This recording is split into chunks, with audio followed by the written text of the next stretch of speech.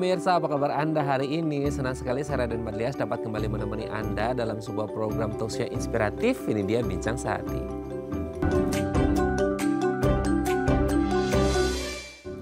Ya pemirsa pernah nggak Anda mendengar istilah factitious disorder atau gangguan buatan? Ini adalah suatu penyakit mental di mana orang yang mengalaminya itu kayak ngerasa bertindak seolah-olah memiliki penyakit fisik ataupun psikologis. Padahal sebenarnya enggak gitu ya. Nah ini bisa menjadi gangguan emosional yang serius. Gimana sih cara mengatasinya? Inilah topik yang akan kita bahas hari ini yaitu mengenal factitious disorder. Nah sebelum membahasnya kita akan membahas terlebih dahulu nih.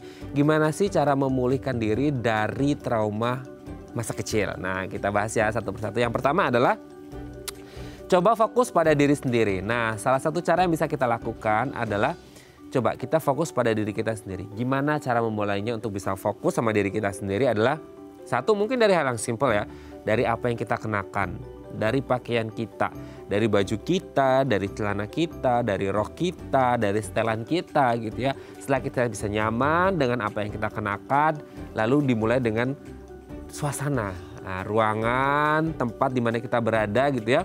Upayakan kita tetap nyaman, bisa menimbulkan rasa tenang sehingga kita akhirnya bisa berfokus pada diri kita sendiri. Kita nggak ke gitu ya sama hal-hal yang lain. Oke, kita lanjut yang kedua. Ingat kembali memori masa lalu dan rasakan emosinya. Mungkin akan lumayan berat, sedikit berat gitu ya. Kalau kita harus mengingat kembali memori masa lalu gitu ya. Emosinya seperti apa rasanya seperti apa. Tapi kalau memang kita niatnya ingin menyembuhkan atau memulihkan diri dari trauma masa kecil mau tidak mau ya pemirsa ya kita harus mencoba balik lagi ke masa itu.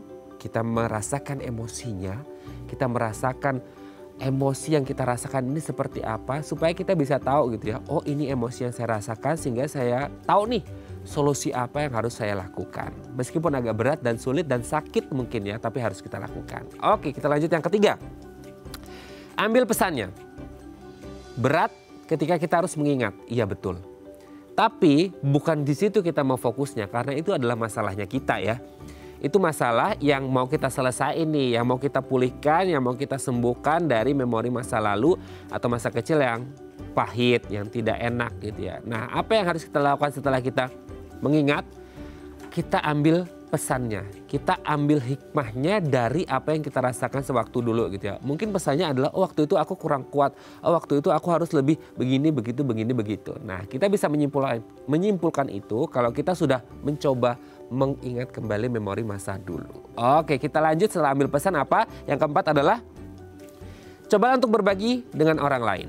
Nah kita ini kan zone politiko nih, makhluk sosial kita tidak akan bisa mungkin hidup sendiri. Nah, jadi kalau Anda berpikir bahwa Anda punya nih masalah dengan masa kecil Anda, Anda punya trauma di masa kecil, coba deh mungkin dari pasangan ke, ke pasangan Anda gitu ya. Atau kalau Anda belum punya pasangan ya ke teman-teman Anda, ke sahabat Anda atau ke keluarga Anda. Coba deh Anda ngobrol, curhat gitu ya, ngobrol ke mereka bahwa ini loh beban yang aku rasakan, ini loh ada trauma masa kecil yang lumayan berat yang harus aku alami. Nah, siapa tahu dengan melakukan itu Anda bisa lebih lega. Meskipun mungkin kadang-kadang Anda tidak akan mendapatkan solusi atau jawaban, tapi at least Anda sudah release the stress ya, release the feeling itu, mengeluarkan rasa itu, mengeluarkan unek-unek itu sehingga meskipun belum ada jawaban, solusi atau alternatif, Anda sudah mulai merasa lega. Oke, kita lihat yang terakhir. Mintalah bantuan profesional. Kalau Anda sudah melakukan segala hal sampai curhat ke teman Anda dan Anda merasa kayak kayaknya aku masih stagnan deh di sini-sini aja dan kayaknya problematikanya, traumanya semakin menjadi-jadi gitu ya. Dan ini kayaknya nggak bisa diselesaikan hanya dengan curhat ke teman. Oke, selanjutnya adalah Anda harus menghubungi profesional. Siapa? Bisa psikolog atau bisa psikiater untuk memberikan solusi terbaik bagi Anda. Jadi jangan ragu-ragu untuk meminta bantuan profesional. Oke, itu tadi beberapa cara yang bisa kita lakukan untuk mengalami, uh, memulihkan trauma dari masa kecil dan kami akan membahasnya saat lagi. Tetap bersama kami di Bincang Saat.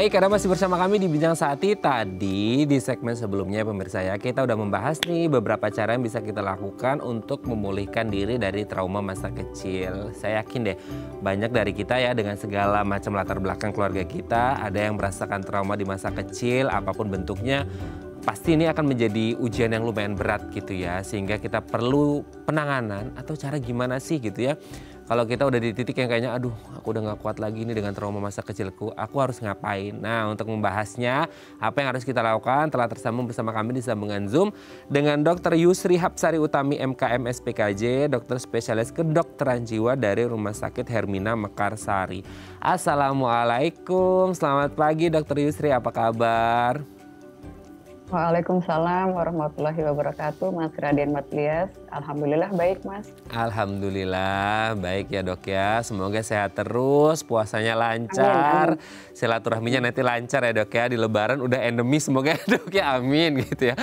Oke, Dokter Yusri kita akan membahas uh, bagaimana sih cara memulihkan atau menyembuhkan trauma dari masa kecil. Ini kan menjadi satu permasalahan yang lumayan concern ya kita karena kalau nggak diatasi dengan baik kan bisa ke bawah sampai dewasa dan itu bisa berbahaya ya khususnya untuk mental health issue kan seperti itu. Nah kita akan membahas gimana sih cara memulihkannya. Yang pertama adalah coba fokus dengan diri kita sendiri. Yang dimasuk dengan fokus pada diri kita sendiri ini eh, seperti apa dan apa yang harus dilakukan sih dok? Ah ya, terima kasih Mas Raden. Jadi uh, fokus pada diri sendiri seperti yang tadi disampaikan itu benar jadi itu bagian dari mindfulness. Yang bisa kita lakukan adalah kita melakukan grounding ya hmm. atau ground it gitu. Jadi uh, di situ kita diminta untuk uh, menyadari penuh pikiran kita dengan keadaan saat itu. Jadi kita menggunakan panca indera kita dan merasakan apa semua yang panca indera kita rasakan. Nah, cara yang bisa dilakukan itu adalah uh, kita duduk santai hmm. ya. Kemudian kaki kita letakkan di lantai gitu. Atau langsung menyentuh bumi. Kita menggunakan pakaian yang nyaman. Kemudian mata kita tertutup. Dan di situ kita fokus pada diri sendiri dengan cara uh, kita sebelumnya melakukan relaksasi. Dan kemudian kita uh, melakukan nafas dalam. Nah, uh, ketika itu kita lakukan, diharapkan tidak ada gangguan dari sekitar. Jadi kita benar-benar mendapatkan suasana yang tenang, sehingga nanti akhirnya uh, kita akan bisa fokus dengan uh, situasi saat itu dan sekarang gitu ya. Jadi here and now itu yang bisa dilakukan karena fokus ini merupakan bagian dari proses pemulihan trauma. Ya, jadi ada beberapa yang tadi disebutkan juga yang pertama adalah grounded, dan kemudian nanti ketika kita sudah fokus, kita akan menemukan kesadaran diri kita seperti apa. Nanti kita akan masuk uh, diminta kembali ke fase atau uh, waktu di mana kita pernah mengalami yang uh, trauma tadi. Uh, demikian, Mas. Hmm, Oke, okay. dok, ini kan untuk uh, coba untuk uh, duduk di lantai atau di yang udah menyentuh bumi gitu ya dengan suasana yang lumayan uh, tenang. Tapi kan banyak akhirnya yang mungkin tempat tinggalnya di lingkungannya agak lumayan bising gitu ya dok ya. Nah apakah ini tetap bisa dilakukan dok meskipun ya tadi kan harus fokus. Namanya fokus kan mungkin di pikiran kita adalah tempat yang tenang, tidak bising, harus sunyi. Tapi kalaupun kondisinya tidak mendukung, ada bunyi-bunyian, entah apa, entah apa, mungkin di pinggir jalan, ini tetap bisa dilakukan nggak sih dok? Ya terima kasih Mas Raden. Jadi sebenarnya tetap bisa dilakukan kalau kita sudah terlatih, nanti kita akan terbiasa meskipun itu suasananya ramai. Cuman kalau hmm. untuk tahap awal, uh, kita yang terpenting adalah melatih dulu untuk bisa fokus itu. Hmm. Karena ini merupakan suatu keterampilan, hmm. jadi dia mesti dilakukan berulang-ulang. Nah, kalau misalnya memang suasananya itu kurang mendukung untuk ketenangan, kita bisa menggunakan earplug misalnya. Hmm untuk membantu ya bisa atau kita uh, mencoba sedekat mungkin dengan alam di mana di situ ada suara air atau uh, angin atau udara atau apa wangi-wangian dari tanaman-tanaman yang bisa kita rasakan hmm. dan ketika kita sudah ya sudah duduk santai hmm. kita sudah pejamkan mata kita sudah relaksasi dan kita sudah nafas dalam, kita fokus pada nafas kita, biasanya itu akan lebih mudah masuk untuk fokus ke diri sendiri karena kita tadinya hanya berfokus pada nafas aja. Jadi uh, sedikit saya contohkan gini ya mas. Hmm. Jadi uh, kita bisa minta seluruh tubuh kita untuk langsung rileks. Hmm. Namun kalau kita nggak terbiasa, kita bisa uh, membagi bagian tubuh kita ini menjadi beberapa bagian, kita kencengin, terus dikendorin, hmm. dikencengin, terus dikendorin gitu. Hmm. Dan kemudian nanti seluruh tubuh kita kita minta rileks. Kalau sudah, kita tarik nafas dari hidung, dikeluarkan dari mulut menggunakan nafas perut, mas, otot perut, maaf. Hmm.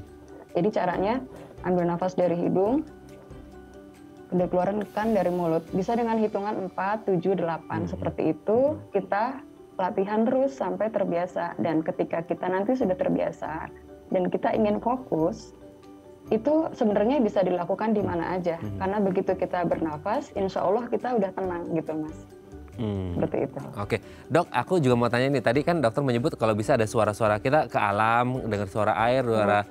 sungai suara hmm. apalah gitu ya nah ini kan tidak semua orang punya akses ke sana. Nah sekarang kan banyak ya dok ya kayak di YouTube itu kan ada audio-audio alam, air gitu ya di hutan, suara-suara burung gitu.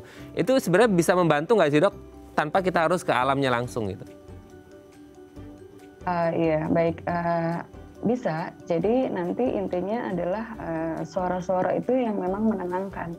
Mm -hmm. Jadi kita kondisinya di alfa, jadi tenang ya. Jadi kalau suaranya itu memang lembut dan masuk di panca indera kita hmm. yang telinga ini tenang itu bisa membantu. Jadi inti dari mindfulness ini adalah menggunakan kesadaran panca indera kita itu hmm. secara penuh. Jadi nanti mata kita terpejam, mungkin kita sambil membayangkan atau berimajinasi di tempat yang kita nyaman hmm. dan kita juga bayangkan hmm. sedetail mungkin uh, suasananya sekaligus juga perasaan kita di situ gimana.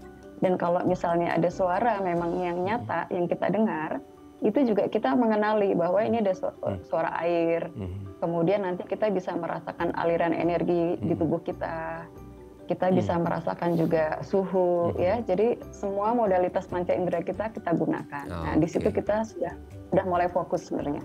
Oke, tapi pastikan kalau mau mendengarkan secara langsung di play videonya, pastikan Anda di akun premium ya. Jangan sampai tidak akun premium pas lagi tenang-tenang tiba-tiba muncul iklan. Jadi buyar semuanya ya.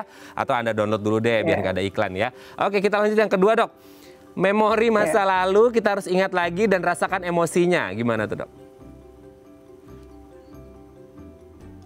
Ya, terima kasih Mas Raden. Jadi ketika kita nanti sudah, ini kan bagian proses pemulihan untuk trauma healing tadi ya, untuk uh, trauma di masa lalu. Jadi ketika kita sudah fokus, kita kemudian uh, kembali lagi ke fase itu di mana kita mengalami situasi yang tidak nyaman ya. Uh, jadi respon emosi kita pada saat itu di tempat yang dan waktu yang tidak nyaman itu kita kembali ke belakang dulu sebentar dan kita rasakan uh, bisa mengenali hmm. saat itu saya merasa apa jadi merasakan emosinya kemudian juga kalau bisa ya tentunya dengan uh, apa namanya dengan perlahan ya artinya hmm. tidak tidak langsung hmm. karena itu mungkin nggak nyaman yeah. kita mengingat secara detail apa yang waktu itu terjadi mm -hmm. ya secara detail apa yang kita rasakan di mana dan kita kenali bahwa saya waktu itu sedih atau kecewa. Jadi warna-warna rasa negatif itu ya, seperti marah, ya, kelompok warna anger misalnya, atau cemas, atau takut, atau kesedihan, atau kekecewaan, yang waktu itu sebenarnya nggak selesai gitu. Hmm.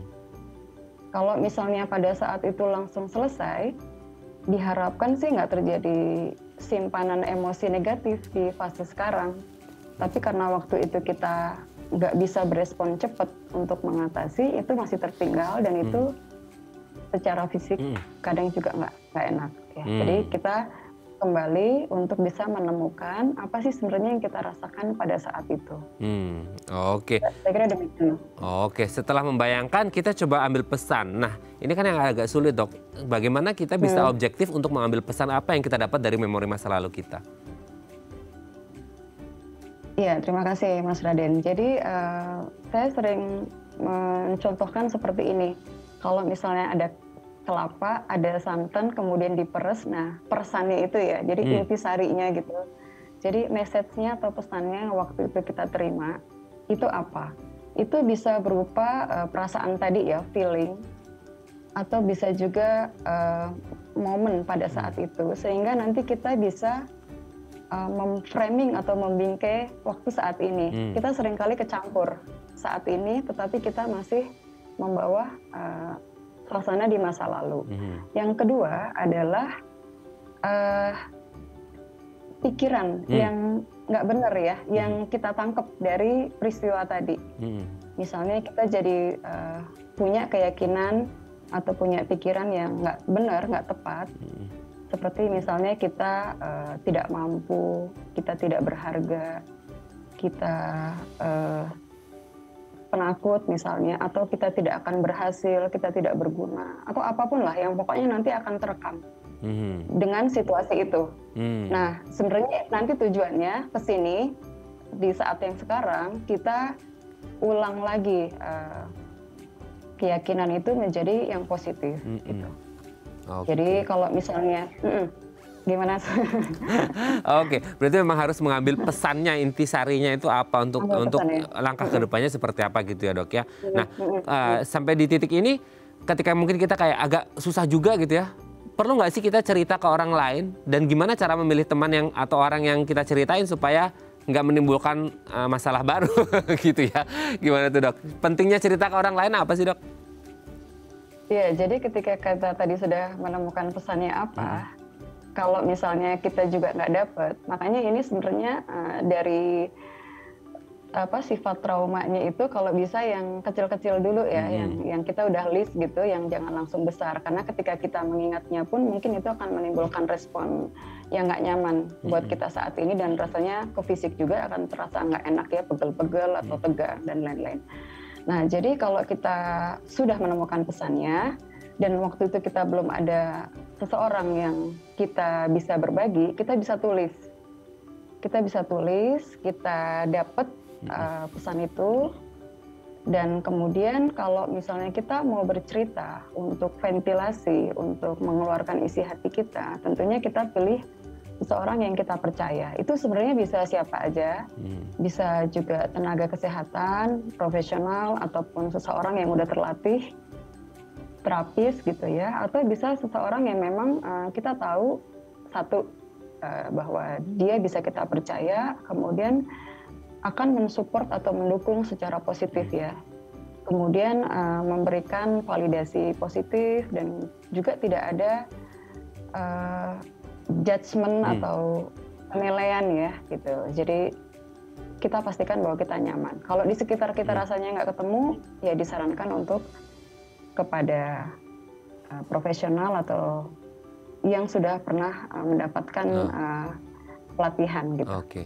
Nah, uh, di titik mana sih dok ketika kita harus kan poin terakhir adalah ketemu atau ngobrol sama profesional entah itu psikolog ataupun psikiater ya. di titik mana sih yeah. ketika kita berpikir bahwa oke okay, kan mungkin orang berpikirnya ini aib ya kalau ngomongin kesehatan mental kan biasanya orang berpikir begitu nah di titik mana sih dok meskipun ini bukan aib ya gitu di titik mana se sehingga orang itu kayaknya udah harus ke psikiater atau ke psikolog deh gitu Ya baik Mas Raden, terima kasih. Jadi uh, biasanya kondisi ini pada saat ini mungkin sudah mengganggu uh, fisik ya, mm-hmm. kesehatan fisik maupun kesehatan mental, mungkin juga muncul gangguan-gangguan uh, yang dirasakan sehari-hari dan gangguan itu bisa mengganggu uh, aktivitas kita dan mhm. kita juga udah merasakan menderita dengan mm kejadian ini. Jadi kita mimpi buruk misalnya, ataupun kita jadi gangguan tidur, atau kita jadi susah membina hubungan dengan orang, mm-hmm. karena kita masih punya mindset bahwa orang ini akan sama dengan yang lalu. Gitu. Nah, jadi uh, kondisi-kondisi ini kalau misalnya dirasakan memang sudah mengganggu dan sudah membuat kita terhambat melakukan hmm. aktivitas kita, itu salah satu warning sign kita bisa minta bantuan uh, orang lain untuk membantu kita. Hmm. Ya. Oke, jadi kalau sudah mulai mengganggu aktivitas sehari-hari Anda, segera ketemu sama ya. profesional entah psikolog ataupun psikiater. Oke, Dokter Yustri, terjawab sudah ya beberapa cara yang bisa kita lakukan untuk memulihkan diri dari trauma masa kecil. Nanti kita di segmen selanjutnya akan lanjut ngobrolin tentang tema kita hari ini ya dok ya. Baik pemirsa, kalau Anda punya pertanyaan seputar tema kita hari ini, Anda bisa menghubungi kami di nomor 021 290 3244 atau DM Instagram kami di @daifamily. Kami akan kembali saat lagi.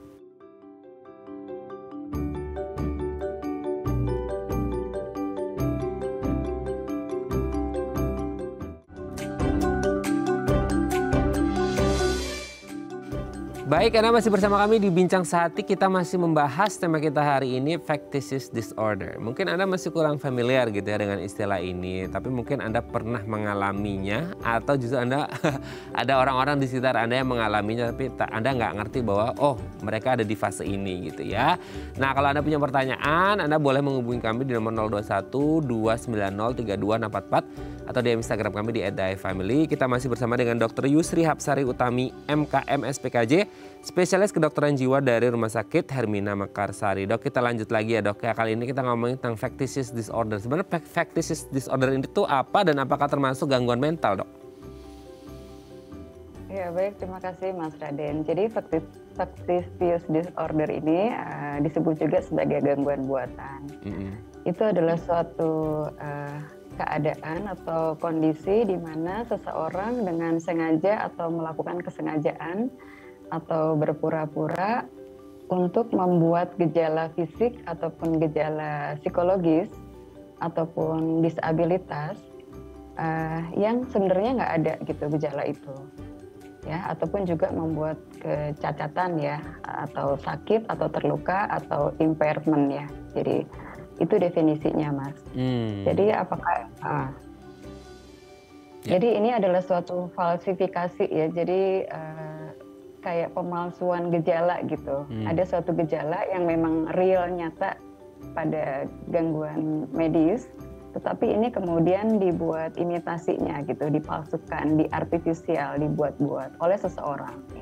Hmm. Ya, jadi uh, ya.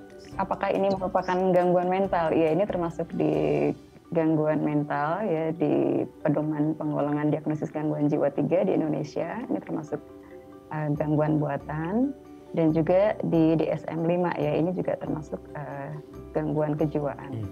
Demikian Mas. Oke, ini agak lumayan aneh ya dok ya. Orang kan pinginnya sehat ya, gitu. Tapi ini justru dia uh, mengada-ngada bahasa kan buatan gitu ya, artificial.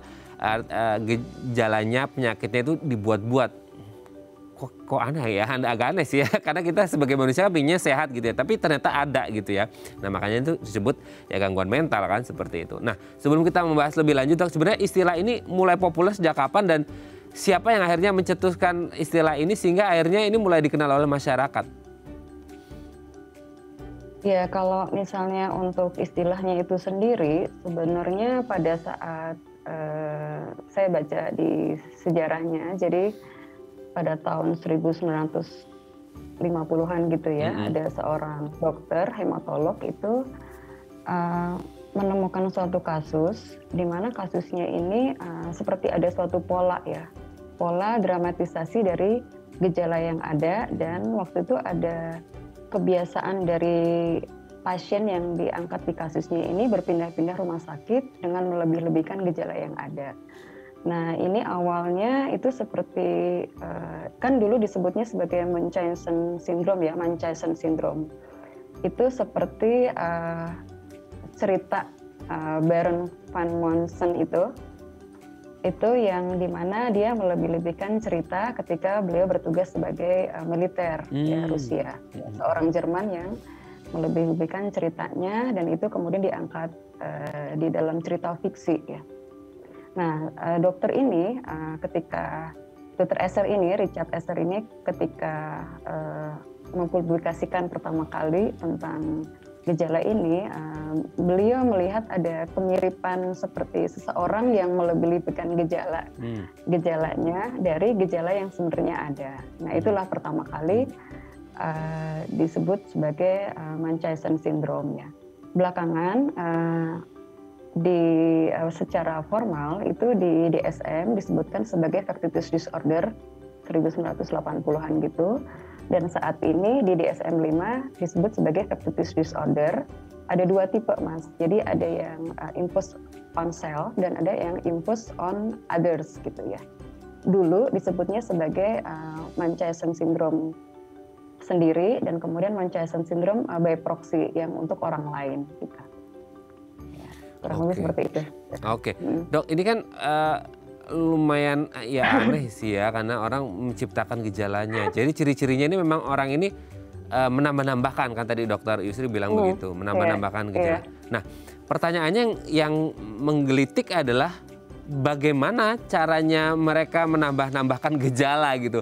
Apakah benar-benar gejala itu nyata uh, secara medis atau hanya dibuat-buat? Kan kalau dibuat-buat kan uh, orang medis harusnya ketika diperiksa tahu dong dok ternyata nggak ada gejala yang disebutkan gitu. Nah gimana cara mereka menciptakan gejala tersebut dan apakah gejala itu benar-benar nyata secara medis atau seperti apa sih dok? Iya baik uh, terima kasih Mas Raden. Jadi uh, sebenarnya ini juga terkait dengan kriteria diagnosisnya ya. Jadi selain tadi memalsukan gejala gitu ya atau falsifikasi tadi, itu uh, ada juga uh, kecenderungan untuk menampilkan bahwa dirinya itu menunjukkan peran sakit ya atau hmm. perilaku sakit.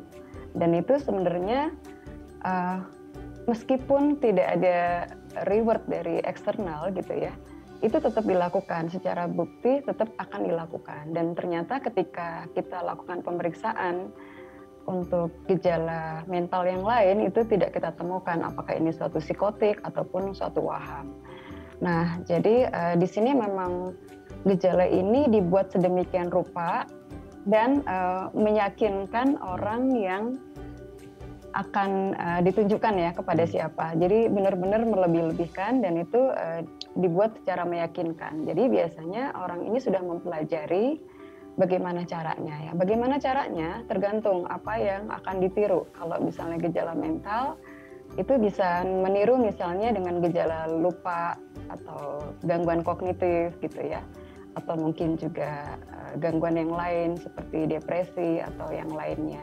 Kalau untuk gejala yang fisik ya bisa dengan uh, membuat gejala seperti nyeri kepala atau sakit perut, bahkan sampai membuat irisan ataupun uh, memanipulasi ya hmm. dengan menggunakan bahan-bahan atau obat sehingga akhirnya uh, muncul gejala dan tanda fisik yang memang hmm. secara nyata itu terjadi ya. Jadi misalnya contohnya yang uh, dari literatur yang saya baca itu menggunakan obat-obatan untuk uh, menurunkan gula darah atau untuk mening, menurunkan tekanan darah ya. Kemudian juga memanipulasi apa alat medis seperti termometer gitu ya atau merusaknya dan lain-lain ya. Jadi apa pun yang uh, terpikir untuk dilakukan itu akan dilakukan. Dan perilaku ini uh, continue ya, berulang terus-menerus. Nah, nanti dokter akan melihat bahwa gejalanya ini kok nggak sama ya atau agak beda dengan perjalanan penyakit tertentu gitu. Hmm. Seperti nggak sinkron gitu.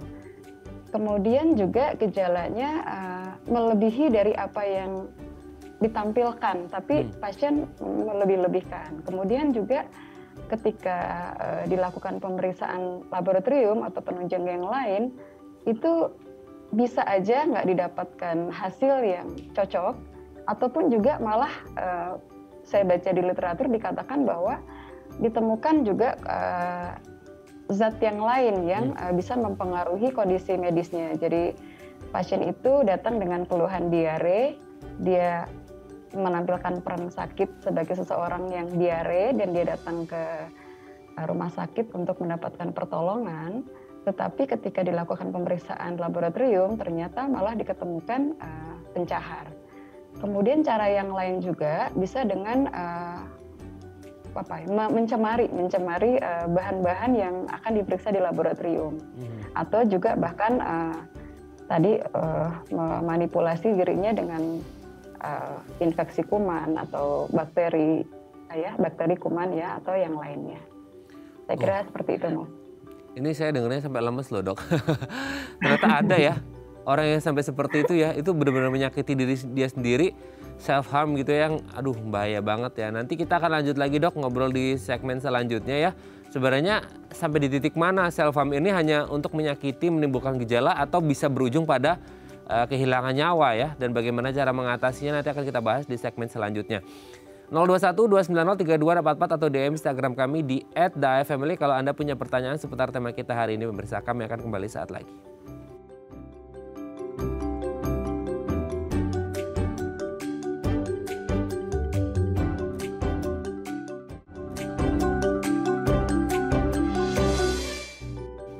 Baik, Anda masih bersama kami di Bijang Sehati. Kalau Anda punya pertanyaan seputar tema kita hari ini 021 290 3244 atau DM Instagram kami di @daifamily. Kita masih bersama dengan Dr. Yusri Hapsari Utami MKM SPKJ, dokter spesialis kedokteran jiwa dari Rumah Sakit Hermina Mekarsari. Dok, kita lanjut lagi.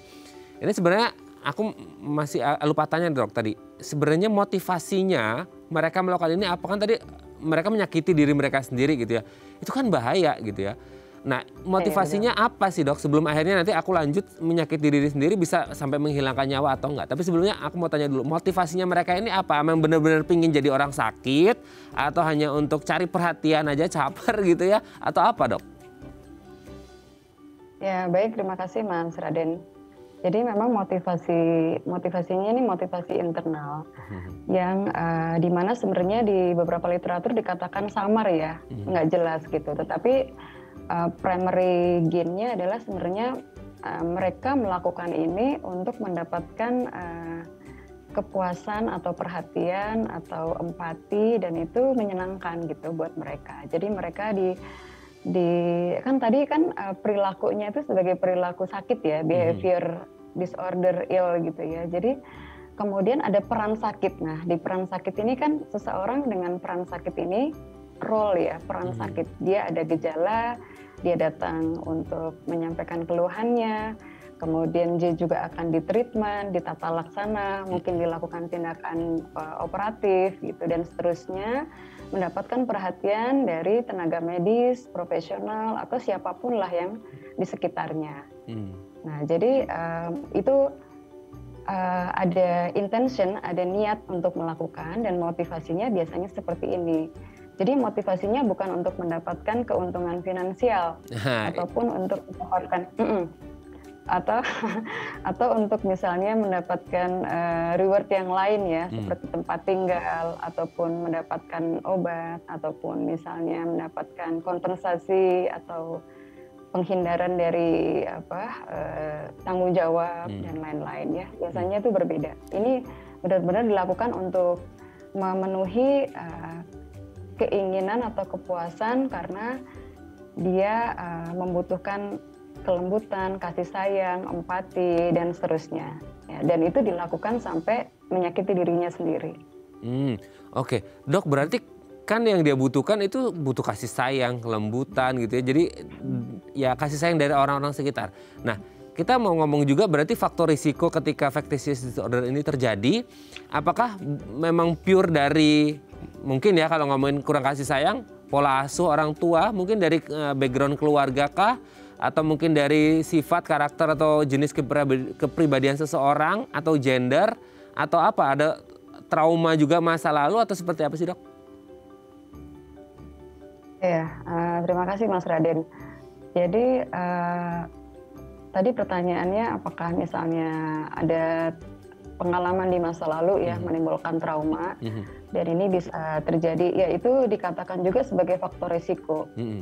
faktor risiko di mana masa kecilnya mengalami uh, peristiwa yang traumatik bisa berupa kekerasan fisik ataupun kekerasan mental ataupun sexual abuse mm -hmm.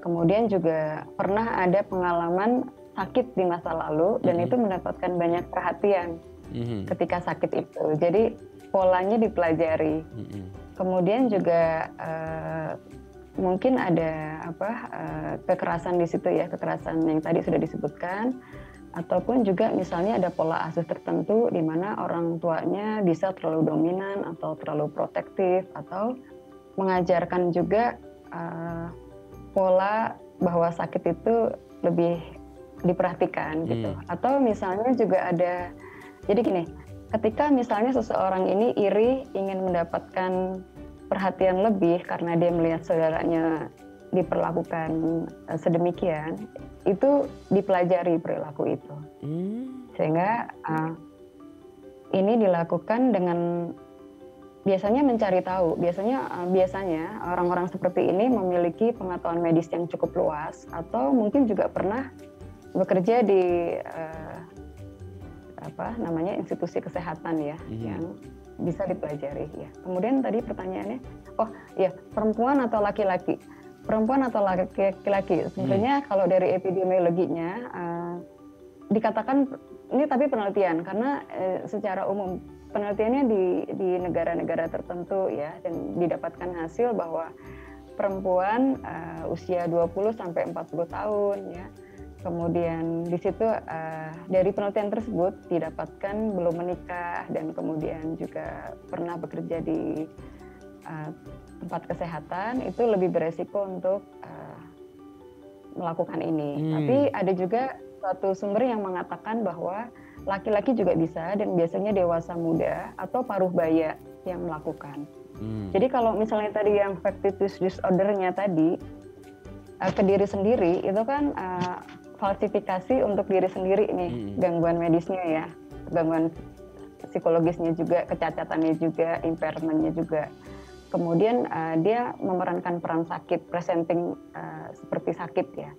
Tapi kalau dia lakukan itu untuk orang lain yang on others tadi, tentunya uh, bisa seorang anak melakukan ke orang yang lebih tua atau orang tua ke anak Aduh. gitu ya seperti itu jadi uh, memang apa cukup kalau untuk yang ke orang tua ke anak tentunya ini apa ngeri ya ngeri. karena kan secara natural orang tua itu akan apa merawat mengasuh hmm. anaknya dengan baik tapi ini justru membuat anaknya ini terlihat sakit dengan tadi berbagai cara tadi yang bisa dilakukan ya dan hmm. tentunya ini apa e, banyak sekali resiko atau akibatnya ya gitu di samping juga itu sendiri merupakan kekerasan fisik atau mental buat anaknya aduh ya dok ya kalau dengar-dengar uh, isu-isu seperti ini tuh benar-benar ya uh, mental health issue itu really matters ya maksudnya penting banget ya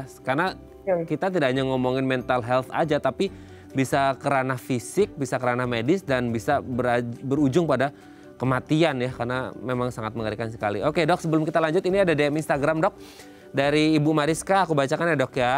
Dok ayah saya umur 70 tahun suka mengeluh sakit dan katanya kayak udah mau meninggal nih udah mau meninggal gitu ya. Akhirnya kami langsung bawa ke IGD tapi hasil cek ya di rumah sakit semuanya baik. Ini udah ketiga kali seperti ini dok. Gimana ya solusinya? Nah ini gimana nih dok? Ah, ya, baik terima kasih Mas Raden, uh, Ibu Mariska.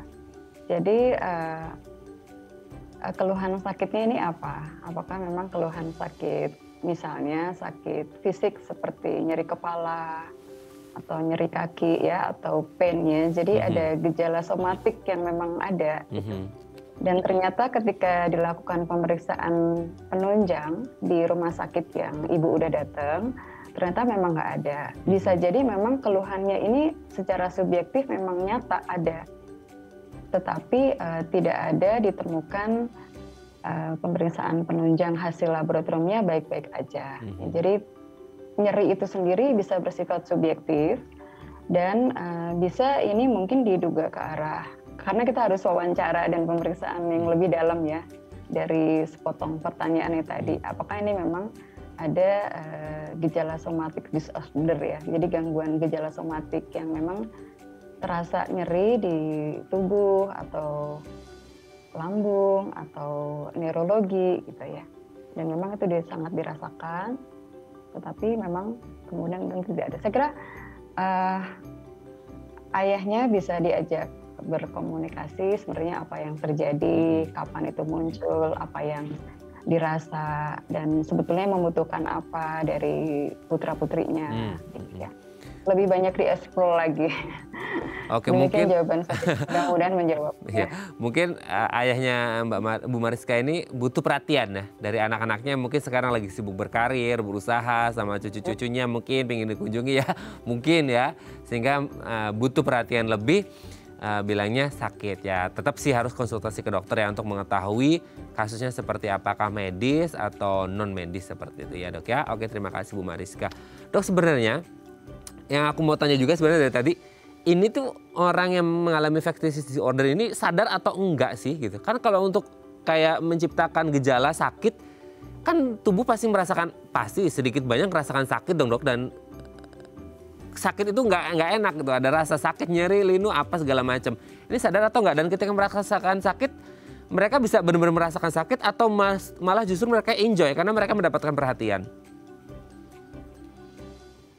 Iya, jadi untuk uh, sadar atau tidak, uh, justru sangat menyadari karena oh. ini dilakukan dengan uh, kesadaran dengan intention. Hanya motivasinya kalau untuk gangguan buatan ini yang uh, dari internal ya. Jadi uh, dia melakukannya dengan sadar. Tentunya itu terasa sakit ya. Hmm. Buat kita yang membayangkannya, buat pasiennya itu sendiri memainkan atau menjalankan peran sakitnya itu uh, justru nanti akan mendapatkan apa uh, semacam perhatian, pertolongan dan lain-lain ya. Dan hmm. itu yang diharapkan memang sehingga apabila ada tindakan medis yang direncanakan seperti misalnya tindakan operasi bahkan biasanya pasiennya menyambut baik. Nah ini kadang-kadang jadi berdampak uh, uh, apa ya bisa jadi ya artinya saya tidak mengatakan bisa jadi prosedur medisnya itu berlebihan untuk kasus ini karena memang hmm. tidak seharusnya.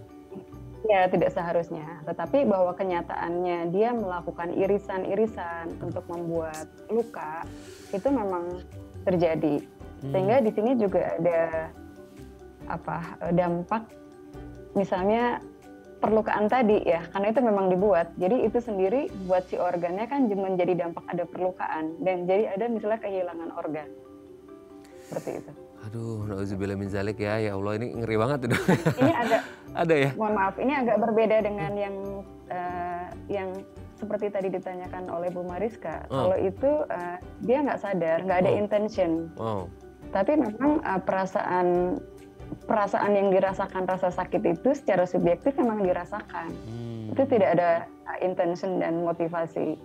Oh. Motivasi khusus ya. Motivasinya bisa motivasi untuk mendapatkan apa pertolongan, hmm. perhatian dan lain-lain, tapi berbeda. Kalau yang ini memang di ya betul. Hmm. Jadi yang somatoforum, gangguan somatoforum ada lagi ya, gangguan hmm. bisa somatisasi, okay. uh, konversi atau body dysmorphic disorder hmm. tuh memang ada. Jadi um, masih menjawab juga Bu Mariska tadi, saya hmm. rasa kita nggak tahu apakah memang perhatian atau apa hmm. tidak ada ya. Saya juga khawatir nanti diterima berbeda, tetapi hmm. yang penting dieksplor lebih lanjut aja. Hmm. Gitu. Oke, konsultasi ya, ke psikiater ya. itu jalan terbaik untuk mengetahui apa yang terjadi gitu ya dok ya. Oke dok, ini masih banyak yang harus kita tanyakan seputar factitious disorder. Nanti kita akan lanjut di segmen terakhir ngomongin treatment apa yang harus dilakukan ketika eh, nauzubillah ya kita atau orang di sekitar kita mengalami ini supaya tidak jadi urusan panjang nanti ke depannya yang bisa lebih parah. Nanti akan kita bahas di segmen terakhir. Baik pemirsa 021 290 32 atau DM Instagram kami di @daefamily kalau Anda masih punya pertanyaan. Kami akan kembali saat lagi tetap bersama kami di Bincang Sehati.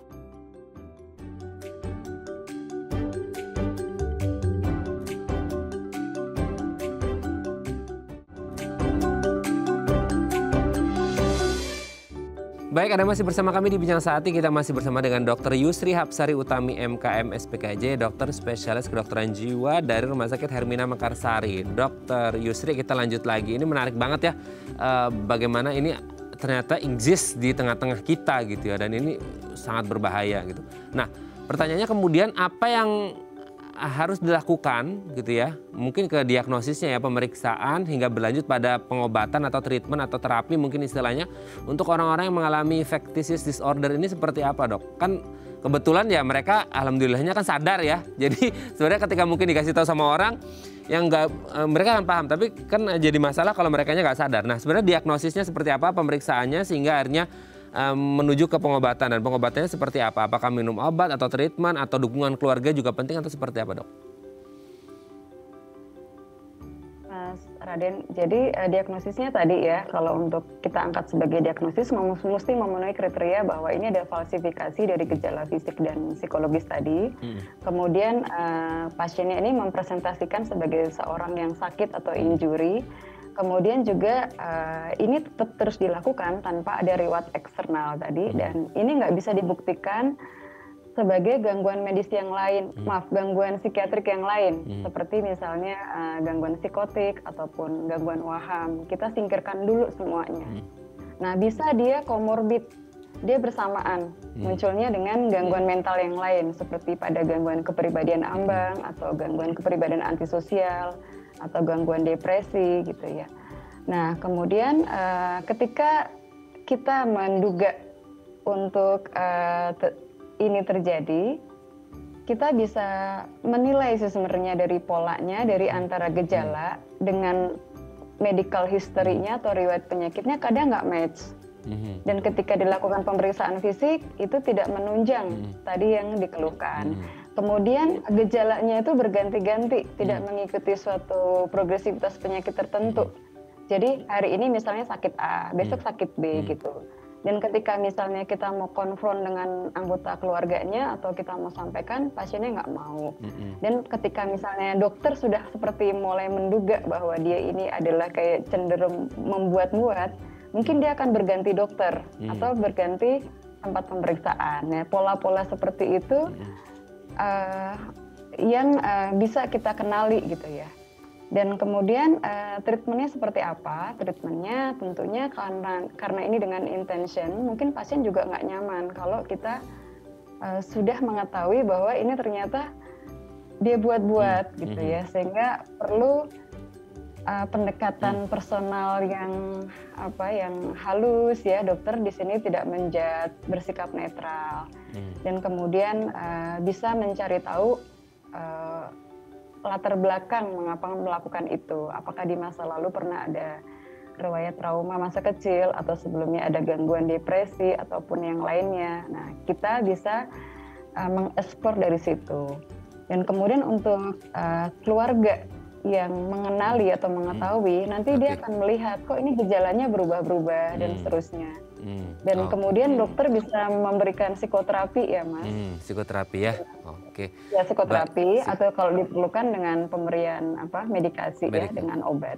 Oke, baik terima kasih Dokter Yusri. Ini sebenarnya banyak harus dibahas tapi waktu juga membatasi kita. Pokoknya kalau ada seperti ini harus ketemu psikiater untuk mendapatkan hmm. penanganan terbaik itu ya dok ya. Terima kasih Dokter Yusri sudah berbagi. Sehat selalu. Salam untuk keluarga di rumah dan teman-teman di rumah sakit. Selamat pagi. Assalamualaikum. Baik pemirsa itu tadi perbincangan kita semoga bermanfaat. Saya Raden Madlia Somit sampai jumpa dan selamat beraktivitas dan tetap semangat berpuasa.